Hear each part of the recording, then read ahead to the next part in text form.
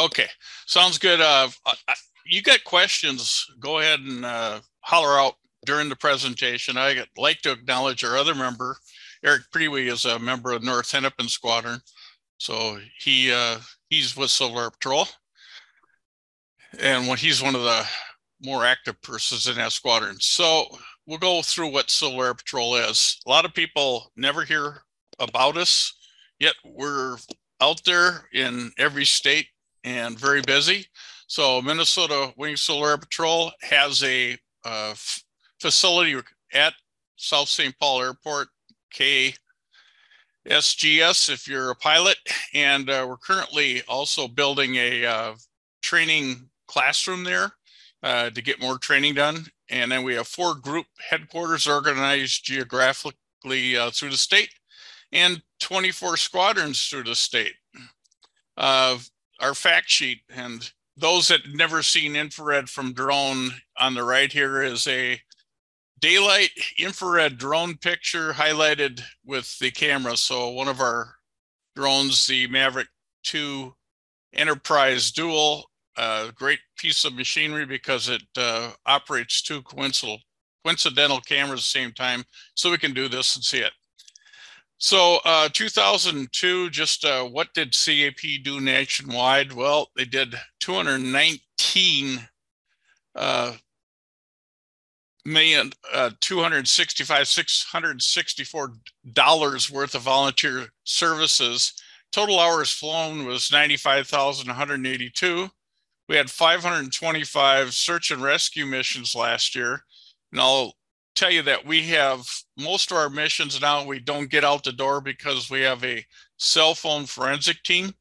And if we can get somebody to report that person missing and we can get the police report number and that, we can uh, start searching for their cell phone immediately. And we collect live data. We don't have to search for it on uh, cell phone towers. We can pretty much get on it immediately. And that's credited with most 151 lives we saved last year.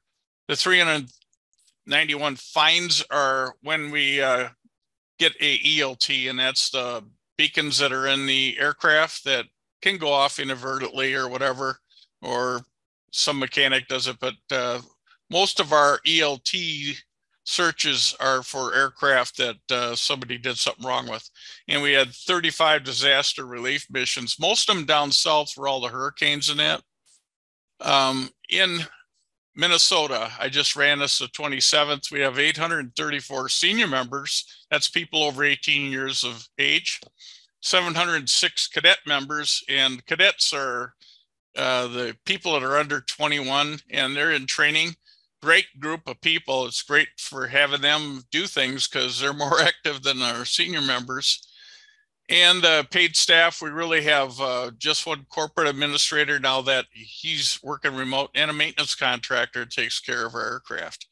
So the equipment, this might be important to you. Uh, we're down to 16 aircraft in the state. We had 19 some of them aged out, but then uh, some of them got moved because it seems like down south they're getting more disasters than we are. So currently we have six Cessna 182s and five of them are Garmin G1000 equipped. Doesn't really mean much to you what that Garmin 1000 is, but it gets us there more accurately and we can use that Garmin to program some of our searches, keep us on course. So basically the plane's flying the search, not the pilot and we have test, uh, 10 Cessna 172s. We use 172s mostly for primary training for cadets and for some of our newer pilots, but they're still willing and able to go up and fly missions. And we're up to 25 small unmanned aerial systems known as SUAS. Uh, two with infrared sensors, and I'm getting a third one tomorrow.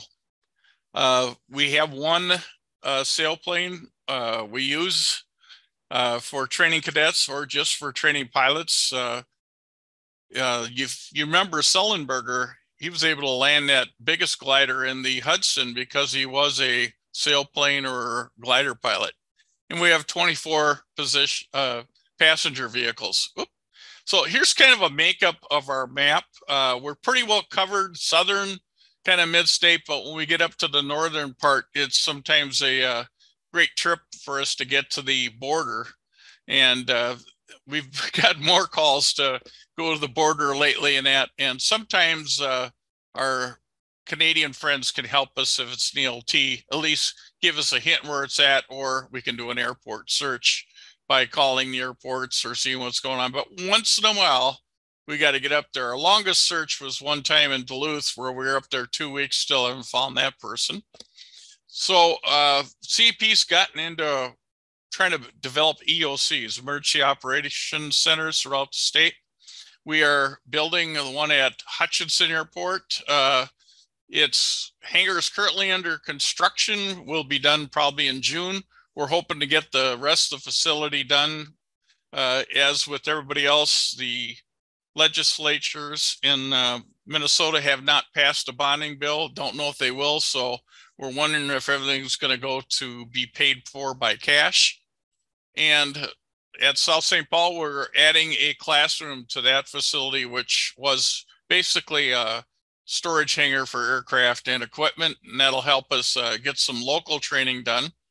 And we are training all our ground teams in US National Grid and encouraging them to put my USNG in their phones and that. So all the scenarios we're developing now are using US National Grid and we're using SARTopo. If you've heard of that, you may know it as CalTopo to uh, coordinate all that and get our uh, National Grid uh, maps done for us. This is the Hutchinson facility. This is where the building will be when it's done. It'll be able to house up to 200 cadets and we'll be able to do training there that we used to do at Camp Ripley And that way, if it's our facility, we can do it almost anytime. This also can be a EOC. Uh, should something happen to the metro area, a lot of departments have uh, contacted us, including MnDOT, about moving things to this facility, which is out of the metro area and kind of central state. So what kind of missions can we do? Uh, we have Air Force missions. We are part of the Air Force Auxiliary, part of the total force, they call it. So we're under Air Force North, and we get missions assigned to us. The search and rescue missions come from Air Force Rescue Coordination Center, and that's mostly for missing persons and missing aircraft. So they will notify us. We do about 90% of the interior search and rescue for aircraft and or persons in the United States. Uh, so we do search and rescue, mostly aircraft and some personnel. Usually the personnel, the sheriff's office gets involved. And when they can't find them, usually a, a while later, we end up helping. Uh, air defense intercept targets. It is fun, if, uh, meaning kind of crazy fun, to have an F 16 chasing up your tailpipe while you're out there trying to hide from them. And we do this quite often because the F 16s out of Duluth, 148th Fighter Squadron, have to have training intercepting small aircraft. It was kind of evident during the Super Bowl 52. We did a lot of training with them, yet there was still idiots that decided they would go up and fly even though they weren't supposed to. And most of them are not flying now. uh, disaster relief and reconnaissance, we have done uh, some tornado pictures. I'll show you that. And we're now flying some pre-flood missions just to get us better at doing it and try to get a, kind of a baseline of where the waters are now. Uh, small UAS, air, you know, the aerial systems, mostly we're doing video mapping and SAR. We could do them both together. I'll kind of explain that uh, later. We've gotten into a new way of searching for people. So our mission really gets started when a sheriff or our AFRCC or our NOC, which is the National Operations Center, calls us. And we check in with the person in charge. We try to find out where they want us. That's the last known point. This search here is up in Pine County for a lost hunter, uh, which they still have not found. And we try to do everything at home before we get out the door. So as much detail as we can get from somebody gets us out the door and we can get everything pre-programmed and get our maps put in and everything in case we get out there. This was a internet denied area, so I'm glad we did it ahead of time or our drones would have gone, huh? So, uh, and when we get out there, first thing we do is a 360 search of the area to make sure we got nothing that's going to harm us or we can look at egress access in it. More than not, what we're looking for is if other people are out there that we have to worry about that may interrupt our mission. And once the area is checked, uh, we usually go into what the request is. When somebody requests us to do a mission, they own all the video and data. We do not own it. We usually give it to them. After a 30 day check, we uh, may scrub our records, but it's their data. So if you're a customer, you get it. Uh, I know we've had, they've had issues with police departments and that because if a police department takes data and that if they don't have an active investigation under Minnesota law, they usually got to scrub it in seven days. So we are actually working with some police departments doing training flights for them because they can't even keep their training videos. So we let them have ours.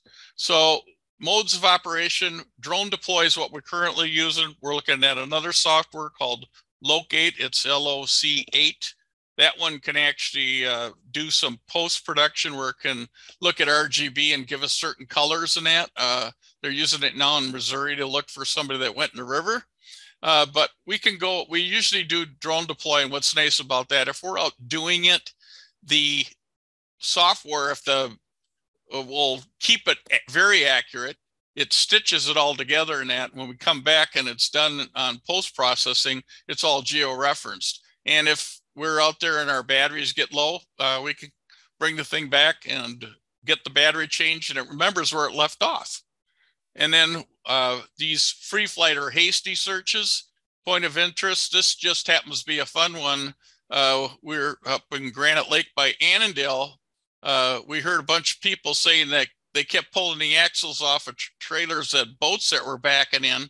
So I got up early one morning and looked at it, and if as you can see, there's a big gap here and a big gap here. And actually, uh, when I zoomed in, you could see somebody's axle in this part right here. So uh, given that to the Lake Association got them a new ramp fixed. Uh, hailing, we got some with speakers so we can warn people and we also can use it to find people. And Overwatch is something that police and fire are doing now. They may put a drone up just to see what activity they got around them, if people are sneaking in or if uh, they don't have a secure area. So past missions, uh, we worked with the Weather Service we gave them the Faribault tornado, uh, and I'll have pictures of that shortly. Blaine TPC, Corey ain't on, but uh, for a couple years uh, after they got all the tents up at the Blaine Golf Course, we took pictures of it.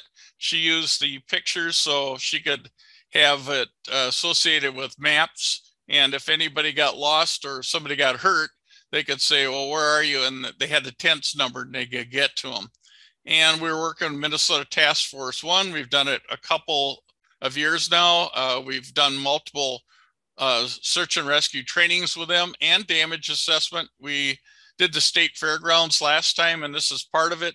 And this is just our first overhead shot from our aircraft.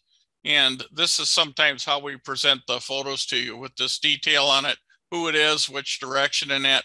And this was done uh, with the, the plane up above at uh, just over a thousand feet above the fairgrounds. And the detail, if, if I could zoom in, is very good. And then pictures of the Minnesota floods. Uh, this appears what Redwood Falls. Believe it or not, this is multi pictures that were stitched together. And if I had the actual here, you could zoom in onto it and you could actually see little things in the water. Uh, this one here was, they were concerned about ice jamming a, uh, one of the uh, dams. Here's your Faribault, and uh, this poor guy's got a beautiful plane sitting on top of his hangar. Uh, so we were in the air right after the tornado went through and got these pictures and we saw the fire truck down there uh, evaluating it. So what we did is we checked the runway, made a low pass, figured out we could land, landed and handed the fire chief the uh, SD card. And here's Corey's project with the TPC where they got all the buildings here. Uh, we had better shots, but this is a high shot. And this was tough because it's right next to the uh, Anoka County Airport, just a mile north. And to get drone approval was tough. To get aircraft approval was basically talk to the tower and do it. So we find sometimes uh, using aircraft is faster than trying to get a drone out there. And then talk about tight spots. This is the uh, Mississippi River right downtown Minneapolis. And so we were able to get permission to fly real tight during one of the floods. And this right here is also Cedar. We flew the whole Minnesota Mississippi River all the way from south, all the way up through Minneapolis, and uh, got all the way up to about We got them done very quickly for the, uh, uh, I think that was for the Army Corps of Engineers at that time. So how do we do this? We use Drone Deploy. It's a uh, uh, software we use to pre-program things. The one down below is one that's already done. This is a background map uh, from Google Earth. This would be the new map. And if I had live here, I could zoom in and you could actually see some footprints in that. But what we do is we're doing the search now for a lost person. Uh, access to here is limited. This is snow and water down in there. People stomping in there would go through. So we video map this and then what we did is after we're done, we have people that are good at crowdsourcing all these things and looking for detail. We actually put it, gave them permission to go look at this and then go ahead and tell us if they saw anything and map it. And all I found uh, out of the whole crowdsource was somebody lost their backpack, but we're still looking for that individual. So post production, uh, we capture all the photos. We get them all by doing this type of mapping up here. Then we can go ahead and do post-production, whether we can look for certain colors, uh, depends on the software we use, or we can create a 3D model. As if it were a real object, we could be able to rotate it, look at the height and everything. Uh, we can zoom in for looking for the smaller objects. Then it can be stitched together for a panorama if you just want something to put on your wall or we go ahead and send it into an orthomosaic georeference model, uh, which this is down here. This is our training center at Camp Atterbury in Indiana.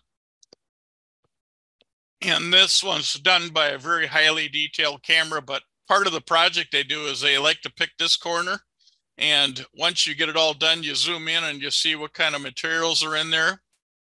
You can go ahead and measure it then you can go ahead and try to tell them what kind of dump truck's going to come in to haul it away. And they might even ask you what uh, is the brand of the beer can down there. So it's kind of interesting. But uh, we're starting to use crowdsourcing for more of our stuff, either whether we send a live shot or later on we put them all in a tray and let people look at it. That's how we handled the last hurricanes through Civil Air Patrol. And uh, they had over I think I'm, I'm trying to remember the last one down in Mississippi. There, we're doing it now, and they have groups currently look at it. What the good thing about it is, we've been trained to kind of do uh, the assessments, and we can have an assessment done while everybody else is working and get that assessment to FEMA, who can then declared as a disaster faster because it then meets the threshold for that county or for that state. Here's the birds we kind of play with. Uh, we, we're getting the X2D. I haven't had much hands on an app, but it's coming tomorrow. And that has uh, infrared and regular camera. Skydio is something kind of new. That thing's a crazy thing. Uh, it doesn't, it kind of flies autonomously on its own its camera will go completely up so you can do bridge inspection. It's awesome for avoidance, but it does not like low daylight. Mavic Mini, we've used that in buildings. We also use that to train our pilots since the Mini actually controls the same as the other Mavericks or the DJI products. And my go-to one is this Enterprise Dual. Uh, we found that successful in low light. Speaker, you can talk to somebody. We actually put the uh, lights on and we did the basement of the cattle barn at the state fair completely dark and we were able to navigate that and find all the people there. We didn't have to use infrared because all the people hiding were firefighters with the 3m tape on so the minute we turned the lights on we found them. Uh, for a customer usually uh, we want an mou that's a mem- memo of understanding and it's basically an agreement or contract that we have with an agency to provide services. Currently, their aircraft is 170 an hour per Hobbs, and Hobbs means that's when the propeller is spinning. So that's when we would uh, be charging uh, when the propeller is spinning, but that includes the crew and all the support. And UAS, uh, there's I think at thirty dollars an hour. They haven't given us the update yet, and that's flight hours from the time the props are spinning to the time the prop is sitting still, and that is also the full ground crew and support. And then we ask if we're using our vans to transport around uh, people that you just fuel them. And we may have an active training mission we can use to get some of these activities. I used to always scan missions we or have missions available. We do now, and then we call them practice missions. But we need the training, and you guys may need the photos, so we may go fly them. And because uh, uh, the best way to use COP, uh, CAP resources is have an MOU with us. Um, and that can be done uh, by us got it, filling out a form and the agency signing it and we ship it up to our headquarters and they approve it and all the lawyers look at it and say it's good and then we have an MOU and that gets us out the door quick because the mission will already be established. But if government agencies need something, we highly suggest they call our National Operations Center and uh, contact them by the phone number or by the uh, CAP address. And I think that's all I got. My cell's up there, and I'll stand by for any questions.